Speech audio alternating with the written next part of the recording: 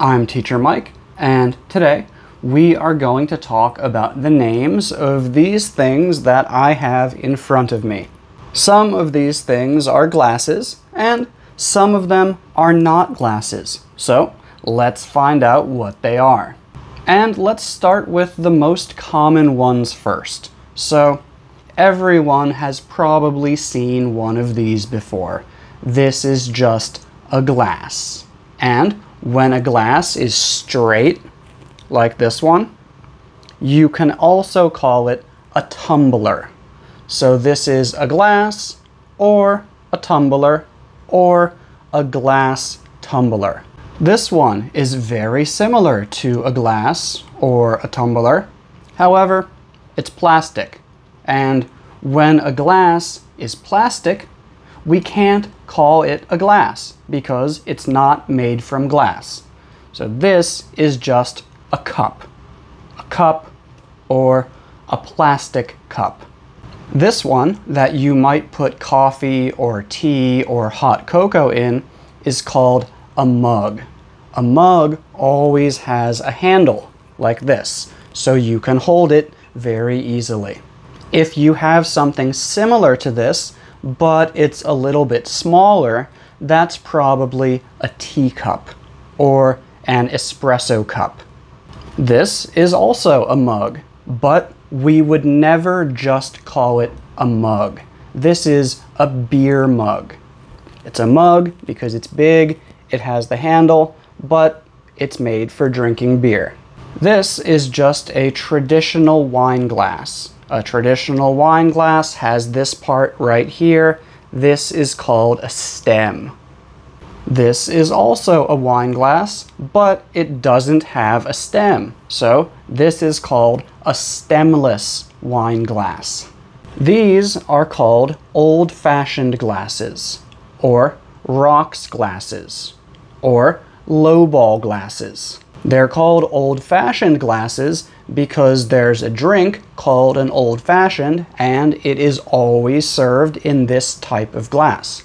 They're called rocks glasses because when you order whiskey on the rocks, they give it to you in this type of glass. Also, whiskey on the rocks means whiskey with ice. This little glass is called a shot glass. When you pour alcohol into a glass like this, you have one shot of alcohol. If you drink it like this, that is called taking a shot in the United States when you buy a bottle of alcohol that is this size, 750 milliliters. We call that a fifth because it is one fifth of a gallon. So if you see a whiskey that you want to buy behind the counter in the liquor store and you want this size bottle, you could say, um, could you please give me a fifth of that whiskey? This type of container that's made from glass and has a lid that you can twist on and off is called a jar. This type of container that has a lid that you can twist on and off and you can put liquid inside of it to keep it very hot or to keep it very cold is called a thermos.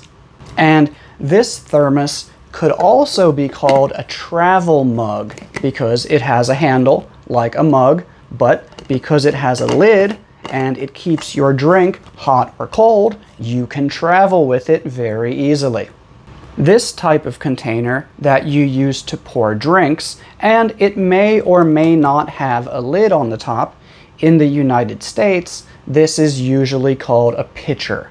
But in the United Kingdom, I believe it's usually called a jug. So at many bars and restaurants in the United States, you could order a pitcher of beer.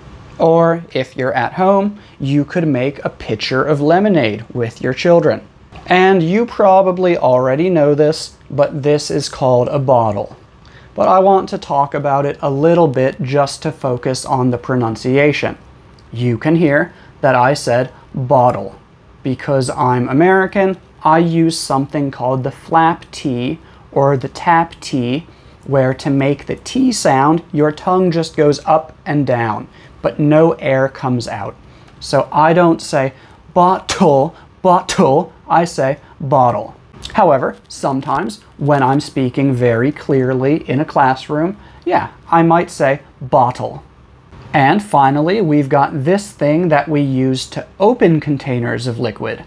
This is called a bottle opener because we use it to open bottles. This part that you use to open a bottle of wine is called a corkscrew because the thing that's in the top of the bottle is called a cork. And this action is to screw. So you screw this into the cork and then you pull the cork out of the bottle. Corkscrew. And a corkscrew is one type of wine bottle opener. So yeah, I hope you guys learned something. Thank you for watching.